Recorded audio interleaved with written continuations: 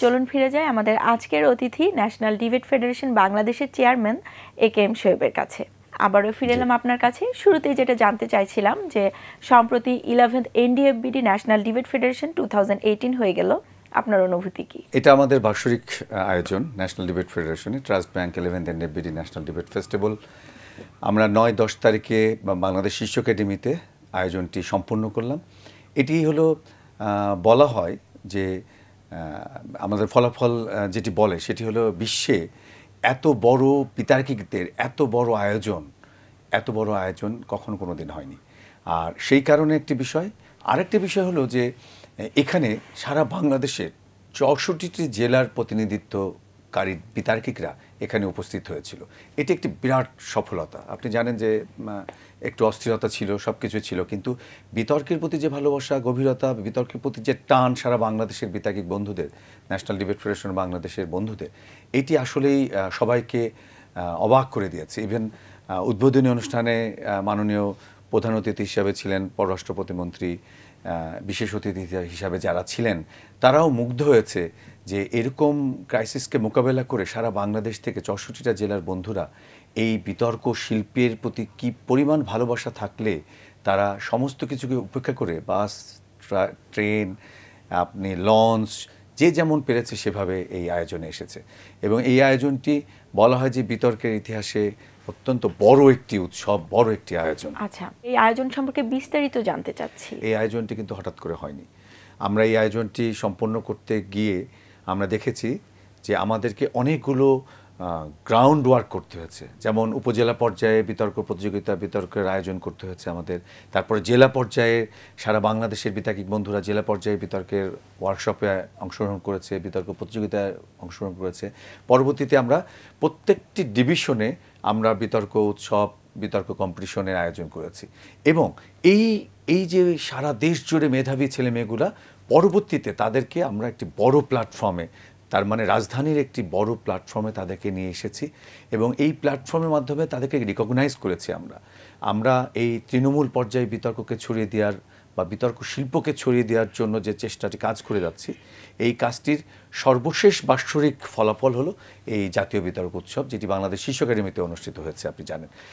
এর মধ্য দিয়ে একটি পরিবার, একটি বিতর্কের পরিবার তৈরি হয়েছে, একটি বিতর্ক শিল্পের আবহ তৈরি হয়েছে, একজন বিতর্কিক, বিতার্কিক বা বিতর্ক প্রেমিক তৈরি হয়েছে এবং এটার সাথে সাথে একটি মেধাবী প্রজন্ম আমরা যেটাকে বলছি যে নলেজ বেস ইন্ডাস্ট্রি মেধাবী প্রজন্মকে আমরা তৈরি করতে সক্ষম হয়েছি। এই যে বিতর্কের কথা বলছিলেন প্রতিযোগিতার কথা বলছিলেন আসলে বিতর্ক কেন করবে? একটি শিশুর মননশীলতার বিকাশে বিতর্কের গুরুত্ব আসলে কতখানি? আমরা বলছি যে বিতর্ক আমরা একটা শিল্পে রূপান্তরিত করতে চাই তার জন্য একটা সংগ্রাম করছি ন্যাশনাল ডিবেট প্রশ্ন বাংলাদেশ এবং আমরা বলছি বিতর্ককে পাঠ্যসূচিতে অন্তর্ভুক্ত করতে হবে।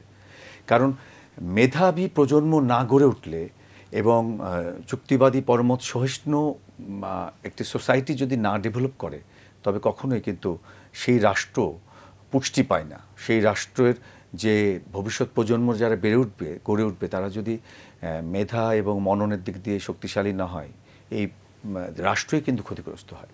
আমরা আমরা বলছি যে এই বিতর্ক শিল্প একটি ছেলের বা মেয়ের জীবনের কতটা পট পরিবর্তন করতে পারে? আপনি দেখেন যে ওরা স্কুল আমরা ক্লাস অলমোস্ট ক্লাস থ্রি থেকে ডিবেটের ওয়ার্কশপ শুরু করেছি। আচ্ছা। আমরা কেন করেছি? ডিবেটের ওয়ার্কশপ ডিবেটের ওয়ার্কশপ শুরু করেছি এই কারণে ডিবেটটা অনেক সহজ একটা জিনিস কঠিন একটা বিষয় না। ডিবেটে যে ফার্স্ট সেকেন্ড থার্ড হতে হবে এরকম কোনো কথা নাই। কিন্তু ডিবেট শিখতে গিয়ে এই ডিবেট শিল্পর সাথে স্কুলিংয়ের সাথে ইনভলভ হতে গিয়ে একটি ছেলে একটি মেয়ে কী করছে? সে কিন্তু প্রত্যেক দিন পত্রপত্রিকা পড়ছে। টেলিভিশনে নিউজগুলো তাকে দেখতে হচ্ছে। ইউটিউবে বিভিন্ন ধরনের ইনফরমেশনগুলো তাকে গ্যাদার করতে হচ্ছে।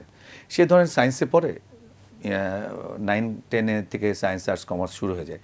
সায়েন্সে পড়ে সে যখন ডিবেট করছে তাকে কিন্তু সায়েন্সের সাবজেক্ট তো জানতেই হচ্ছে। আর্টসের subject commerce politics economy international সব কিছু তাকে জানতে হবে। জেনারেল নলেজ সব কিছু তাকে জানতে হবে। তো এই যে এই যে জানার পৃথিবী জানার যে দোয়ার খুলে দেয় হলো বিতর্ক। এবং জানার চেষ্টা করা, এটি হলো বিতর্ক শিল্পের সবচেয়ে বড় শক্তি। কিন্তু এই কি জানলেই হলো? একজন বিতার্কিক সে জানলো, পড়ল, বুঝলো।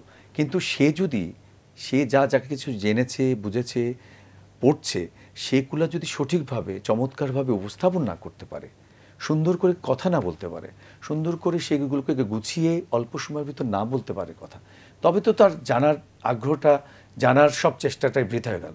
আমরা বলছি প্রকাশই হলো প্রতিভা। শোনো যুক্তি আমার সৌন্দর্য সৌন্দর্য। কেন বলছি? কারণ যুক্তির ভিতর যুক্তি এবং প্রতিযুক্তির ভিতর দিয়ে যে জারণ বিজারণের মধ্য দিয়ে যে জ্ঞানটি আহরিত হচ্ছে সে কিন্তু আলোকিত হচ্ছে। এবং এই আলোকিত মানুষ যখন সে চমৎকারভাবে সেটি উপস্থাপন করছে তখন সে পরিপূর্ণ একজন আধুনিক মানুষ হিসাবে নিজেকে উপস্থাপিত নিজেকে। তৈরি করতে এবং বিতর্ক কিন্তু ওই শক্তিটা তাকে অর্জন করতে শেখায়। আচ্ছা, আচ্ছা। এবং আমরা এটিও বলি যে ছেলেটি বিতর্কের সাথে আছে বা বিতর্ক শিল্পের সাথে আছে, সে লাভবান হচ্ছে সাংগঠনিকভাবে সে একটা বিরাট প্ল্যাটফর্ম পাচ্ছে সারা দেশে। জ্ঞানের পৃথিবীটাতে সে ঘুরে বেড়াতে পারছে এবং জ্ঞানের চর্চাটাকে সে উপস্থাপন করতে পারছে চমৎকারভাবে। আপনি দেখুন যে সেই বিতার্কিকই কিন্তু বড় হচ্ছে, সে স্কুল লেভেলে কলেজ লেভেল গন্ডি পেরিয়ে সে ইউনিভার্সিটিতে হচ্ছে প্রেজেন্টেশন দিচ্ছে চাকরি ক্ষেত্রে গিয়ে ভাইবা বোর্ডে অ্যাটেন্ড করছে প্রেজেন্টেশন দিতে হচ্ছে। সবচেয়ে বড় কথা হচ্ছে সে নিজেকে প্রেজেন্ট করতে পারছে নিজেকে প্রত্যেকটি খুব জায়গায় আধুনিকভাবে প্রেজেন্ট করতে পারছে। আচ্ছা। অন্যদের চেয়ে একটু ডিফারেন্ট ভাবে প্রেজেন্ট করতে পারছে। আমরা এই কারণে বলছি এই জায়গাটিতে বিতর্ক অনন্য অসাধারণ। যেহেতু আপনি বাংলাদেশ ন্যাশনাল ডিবেট ফেডারেশনের চেয়ারম্যান হিসেবে দায়িত্ব পালন করছেন তো জানতে চাইব যে শুরুর দিকের গল্পটা কেমন ছিল কোন ভাবনা থেকে আসলে আপনি এই ধরনের একটি সংগঠন তৈরি করার চিন্তা করলেন? আমি আমার বাবা মাকে খুব ধন্যবাদ দিই তাদের জন্য প্রার্থনা করি দোয়া করতে বলি সবাইকে, যে আমার পরিবেশটা, আমার বাড়ির পরিবেশটা, ছোটবেলায় যখন আমি ছিলাম, আমার ভাই ডিবেটর ছিল, খুবই খুব ডিবেটর ছিলেন, সে এখন সরকারি বড় একটি কর্মকর্তা। এবং আমার পরিবারের ভিতরে ওই এনভায়রনমেন্টটি আমি পেয়েছি। আমি লাকি যে অনেকের তুলনায় হয়তো বা পরিবেশের, ছোটবেলায় ওই পরিবেশটা পাই না। দেখা গেলো ইউনিভার্সিটি লাইফে ডিবেট করে, শেখে। কিন্তু আমি ওই ছোটোবেলা থেকে ওই পরিবেশটা আমি পেয়েছি। ওই পরিবেশটা পাওয়ার ফলে যেটা হয়েছে যে আমি মুক্ত মনে, মুক্ত চিন্তা এবং মননের সাথে আমার জীবন যাপনটা করতে পেরেছি। পরে যখন আমি ঢাকা ইউনিভার্সিটিতে সুযোগ পেলাম পড়াশোনাতে, তখন আমি ঢাকা ইউনিভার্সিটি ডিবেটিং সোসাইটি পরবর্তীতে প্রেসিডেন্ট হলাম এবং ইন্টারন্যাশনাল ডিবেটে বাংলাদেশকে প্রতিনিধিত্ব করার সুযোগ পেলাম এবং জাতীয় টেলিভিশন ডিবেটে আমিও ব্যক্তিগতভাবে চ্যাম্পিয়ন হওয়ার গৌরব- অর্জন করেছি। আমার যা কিছু শেখা, আমার যা কিছু জানা বা আমার যা কিছু শিখলাম বিতর্ক থেকে এবং আপনি ধরেন আমি একটি মাল্টিন্যাশনাল কোম্পানিতে গ্লোবাল মার্কেটিং জিএম হিসাবে আছি এবং আমার, আমি জানি আমার চাকরি পাওয়ার ক্ষেত্রে এই বিতর্ক শিল্প আমাকে দারুণভাবে কাজে লাগিয়েছিল। আচ্ছা কীভাবে কাজে লাগিয়েছে মানে আমাদের যে ভাইবা বোর্ডটি হয়েছিল যেহেতু আমি ইয়াংনে আছি কোরিয়ান কোম্পানি বাংলাদেশের সবচেয়ে বড় ফরেন ইনভেস্টমেন্ট এটি একটি বিদেশি কোম্পানি। ভাইবা বোর্ডে যখন আমাকে ছত্রিশটা ছেলে মেয়েদেরকে সিলেক্ট করা হলো ফাইনালি একজনকে নিবে তখন ওই ভাইবা বোর্ডে আমি প্রত্যেকটি প্রশ্নের উত্তরগুলো খুব সহসায় শক্তি নিয়ে এবং আত্মবিশ্বাসের সাথে আমি বলতে পেরেছিলাম। আরেকটি বিষয় যে নিজেকে সেল করা পৃথিবীতে চাকরি পেতে হলে কিন্তু প্রথমে নিজেকে উপস্থাপন করতে হবে চমৎকারভাবে। নাহলে কেন আপনি আমাকে চাকরি দেবে বলেন? আপনি কি আমাকে দিবেন? যদি আমি ভালোভাবে কথাই না বলতে পারলাম সুন্দরভাবে আপনাকে নাই বোঝাতে পারলাম তবে আমাকে চাকরি দেবে না। তো দেখুন ওই জায়গাটিতে কিন্তু ছত্রিশটি ছেলে মেয়ের ভিতর আমাকে সেখানে তারা সিলেক্ট করল। তো বিতর্ক আমাকে এখানে নিয়ে এসেছে। এবং আমি এখন চারটি দেশে গ্লোবালি চারটি দেশে দায়িত্বে আছি আত্মবিশ্বাস বাড়িয়েছে। আত্মবিশ্বাসের জায়গাটি যে বিতর্ক আমাকে শিখিয়েছে বাড়িয়েছে এবং আমাকে যে প্রশ্নগুলাই করছে না কেন সেটা ইন্টারন্যাশনাল হোক latest current latest political situation বা। কারেন্ট অ্যাফেয়ার্সের কথা ধরুন বা যে কোনো বিষয়ে আমি কিন্তু কিছু না কিছু উত্তর দিতে পেরেছি যার ফলে তারা বুঝতে পেরেছে যে না তাকে নিলে হয়তো বা আমাদের ব্যবসা বিজনেস সব কিছুই প্রসারিত হবে এইভাবেই আমার নিজের জীবনকেই যদি আমি চিন্তা করি, আমি ওই আমার জীবনটাকেই আমি বিতর্কের কারণেই আমি আজকের এই সুযোগটি পেয়েছি। এই কারণে আমি বলি যে, বিতর্ক শিল্পের সাথে যারা সম্পৃক্ত, তারা আগামীতে দেশ পরিচালনা করবে। তারা আগামীতে সংসদে বক্তব্য দেবে। দেখবেন তাদের বক্তব্য অন্যদের বক্তব্যের তুলনায় অনেক আলাদা হচ্ছে, অনেক পরিশীলিত হচ্ছে, অনেক চমৎকার হচ্ছে। কারণ তারা একজন ভালো এবং যুক্তিসঙ্গত যুক্তিসঙ্গত লজিক্যালি তারা ডিবেট করছে। এই যে এই ধরনের একটি ফেডারেশন প্রথম থেকে যাত্রা শুরু করে পথ পরিক্রমায় আজকে এই পর্যন্ত এসেছে। তো আপনি কি কি চ্যালেঞ্জ অনুভব করেছেন? ন্যাশনাল ডিবেট ফেডারেশন বাংলাদেশ বাংলাদেশের সবচেয়ে বড় জাতীয় সংগঠন। আমরা সংগঠনটি যখন আমি আমার ইউনিভার্সিটি লাইফ শেষ হয়ে গেল তখন তো আমার আমি ঢাকা ইউনিভার্সিটি ডিবেটিং সোসাইটি থেকে প্রাক্তন হয়ে গেলাম। তার মানে কি? আমি যা কিছু শিখলাম সেটা কি আমি নিজের ভিতরে স্বার্থপরের মতন রেখে দেব? এটা তো হতে পারে না। ওই জায়গাটা থেকেই মূলত আমি চিন্তা করলাম যে সারা দেশ জুড়ে যে ছেলেমেয়েরা রয়েছে, এদের কিন্তু প্ল্যাটফর্ম নাই। এদের একটা ভালো অনুষ্ঠান করার সুযোগ হয় না, এদের একটা কম্পিটিশনের সুযোগ হয় না, আর্থিক কারণে স্পন্সারের কারণে, তারপরে পরিবেশ পায় না, বা তারা সারা পৃথিবীতে যে বিতর্কের যে চেঞ্জ হচ্ছে, বিতর্কের মডেলে চেঞ্জ হচ্ছে, সেটা সম্বন্ধে তারা জানে না। তো ওই ওই সব কিছু তাদের কাছে পৌঁছে দেওয়ার জন্য একজন সামাজিক মানুষ হিসাবে আমার কাছে মনে হলো না। এখন একটি জাতীয় সংগঠন করা উচিত যে সংগঠনটা সারা দেশের বিতার্কিকদের কথা বলবে, চিন্তা করবে এবং তাদেরকে গড়ে তুলবে। এইভাবেই আমরা আসলে জাতীয় সংগঠনটি শুরু করি। এবং শুরুতে যে চ্যালেঞ্জটি ছিল যে অভিভাবকরা প্রথমে খুব ওইভাবে সাপোর্ট দেয়নি স্পন্সর প্রতিষ্ঠানগুলোতে তখন স্পন্সর পাওয়া খুব কঠিন ছিল যে একটা আয়োজন হবে। ধরেন সিলেটে অথবা আমাদের রংপুরে অথবা আপনি কুষ্টিয়াতে অথবা খুলনাতে অথবা ময়মনসিংহে অথবা চিররঙে বা খাগড়াছড়িতে একটি ডিবেটের আয়োজন করতে গেলে দেখা গেছে দেখা গেছে যে ফিনান্সিয়ালি আমরা খুব দুর্বল হয়ে যাচ্ছি এবং আমরা পারছি না। আমাদের সব চেষ্টা আছে কিন্তু পারছি না। পরবর্তীতে আমরা চেষ্টা করেছি স্পন্সরের প্রতিষ্ঠানকে বোঝানোর চেষ্টা করেছি যে আপনার ব্র্যান্ডিং হবে আপনি ডিবেটের মতন একটি ভালো শিল্পের পিছনে আপনি যদি করেন তবে এরাই একদিন বড় হবে এবং একদিন আপনার প্রতিষ্ঠানকে বা আপনার ব্র্যান্ডকে আরও বেশি উজ্জ্বল আলোকিত আলোকিত করবে। এইভাবে কিন্তু আচ্ছা। আস্তে আস্তে আস্তে আস্তে এখন দেখেন যে এই এত বড় একটা জাতীয় উৎসব হলো একটা বড় একটি ব্যাংক আমাদের সাথে আছে। তো এটা কিন্তু একটা কনফিডেন্টের দীর্ঘদিনের ডিবেটে কাজ করার একটা ফলাফল যে না ডিবেটে সবচেয়ে মেধাবী ছেলেমেয়েরা আসে প্রচুর মিডিয়ার সাপোর্ট হয় এবং বাংলা ভীষণকে আমি ধন্যবাদ জানাই যে বাংলা ভীষণ প্রথম থেকে বিতর্কের শিল্পের এবং এই ক্রিয়েটিভ কাজে সবসময় পজিটিভলি আমাদের পাশে ছিল। থাকার ফলে যেটি হয়েছে এখন সারা বাংলাদেশের যে ছেলে মেয়েদের প্ল্যাটফর্ম সেই প্ল্যাটফর্মটি আমরা দিতে পেরেছি তাদেরকে। এখন মোট কতজন সদস্য সংখ্যা আছে আপনাদের এই ফেডারেশনে এবং যদি জানতে চাই যে বিতার্কিকদের সংখ্যা কত এবং স্পেশালি যেটা জানতে চাইব সেটা হচ্ছে যে কেউ যদি আপনাদের এই ফেডারেশনের সঙ্গে যুক্ত হতে চায় কীভাবে যোগাযোগ করবে? সারা বাংলাদেশে ডিরেক্টলি সাড়ে নয় লক্ষ সবচেয়ে মেধাবী চৌকস এবং যুক্তিবাদী বন্ধুরা school college university medical college even মাদ্রাসার বন্ধুরা আচ্ছা। আমাদের সাথে সম্পৃক্ত রয়েছে এবং আমরা আমাদের বিভিন্ন জোন রয়েছে Khulna NDABD Khulna zone NDABD Rangpur zone NDBD Barishal zone Mymensingh zone Chittagong zone সমস্ত জায়গায় আমাদের কিন্তু একটা নেটওয়ার্ক রয়েছে আমরা বলছি যে একটি শিল্প বেড়ে ওঠে বা গড়ে ওঠে শুধুমাত্র পারফর্মারদেরকে দিয়ে না অর্গানাইজাররাও এখানে খুব গুরুত্বপূর্ণ। দুইটা জিনিস শিখছি আমরা। আমরা ডিবেটও শিখছি আমরা অর্গানাইজিং কীভাবে করতে হয় কীভাবে একটা বড় আয়োজনকে ম্যানেজ করতে হয় কতটা চমৎকারভাবে করতে হয় সেটাও আমরা শিখছি। এই দুটার একটা মিথস্ক্রিয়ার মধ্য দিয়ে একটি শিল্প বেড়ে ওঠে গড়ে ওঠে এবং এই যে সাড়ে নয় লক্ষ ছেলে মেয়ে সারা দেশ জুড়ে কাজ করছে তাদের মাঝে কিন্তু একটি স্বপ্ন রয়েছে সেটা হলো যুক্তি আমার সৌন্দর্য। এই স্বপ্নটি তারা চর্চা করে যাচ্ছে এই স্বপ্নটাকে আলোকিত তারা করছে। তারা পরমত সহিষ্ণু এবং যুক্তিবাদী সমাজ বিনির্মাণে তারা কিন্তু কাজ করে যাচ্ছে।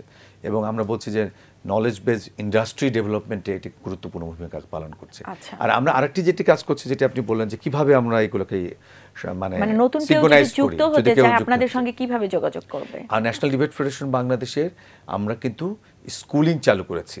স্কুলিংটা অনেকটা আপনার টিএসসিতে আপনি জানেন যে নাটক, আবৃত্তি, গান, নাচ, বিভিন্ন কিছু কিন্তু ট্রেনিং হয় কোর্স হয়। ঠিক তেমনি national debate federation Bangladesh schooling চালু করেছে। যে কোনো বাংলাদেশে যে কোনো স্কুল কলেজ বা ইউনিভার্সিটি তারা যদি চায় যে তারা একটি স্কুলিং করবে তিন মাস ব্যাপী, আমরা কিন্তু তাদের সেই স্কুলিংয়ে মেন্টরস পাঠিয়ে ট্রেনার পাঠিয়ে ডিবেটর পাঠিয়ে এবং একটি সিলেবাসের মধ্য দিয়ে আমরা তিন মাস ব্যাপী তাদেরকে এই এই বিতর্ক শিল্পের সাথে সম্পৃক্ত হওয়ার, বিতর্ক শেখার, জানার হাতে কলমে সেটি আমরা করে দেওয়ার ব্যবস্থা করব। তাছাড়া ঢাকাতে আমরা বিশ্ব সাহিত্য কেন্দ্রে আমরা রুম নিয়েছি। ওখানে আমরা ডিবেটের এই স্কুলিংটা চালু করছি এবং ঢাকার বাইরেও বিভিন্ন জেলা, উপজেলা বিভাগে স্কুলিং কার্যক্রম চালু রয়েছে। যার মধ্য দিয়ে একেবারে ছোটোবেলা থেকে একটি ছেলে বা মেয়েকে আমরা বিতর্কের আবহে বা বিতর্ক শিল্পের জ্ঞানের নলেজ বেজ ইন্ডাস্ট্রি ডেভেলপমেন্টের পিছনে আমরা সুচারুভাবে কাজ করে যাচ্ছে এবং চেষ্টা করছে একটি নতুন মেধাবী প্রজন্ম তৈরিতে। সেজন্য আপনাকে অনেক অনেক অভিনন্দন জানাচ্ছি। অগ্রিম শুভ কামনাও রইল। জানতে চাচ্ছি যে এবার তো অনেক বড় একটি উৎসব হয়ে গেল। আগামীতে আরও সুন্দর সুন্দর উৎসব করার জন্য আপনাদের কি কি পরিকল্পনা আছে?